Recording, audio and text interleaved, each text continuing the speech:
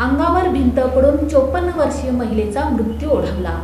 सांगोला तालुक्यातील एकतपूर इथं ही दुर्घटना घडली आहे.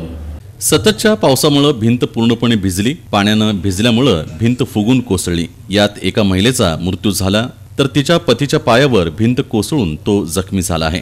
सांगोला तालुक्यातील एकतपूर इथं ही घटना घडली असून छबाबाई बबन पाटोळे वय वर्ष चोपन्न असं या मृत महिलेचं नाव आहे.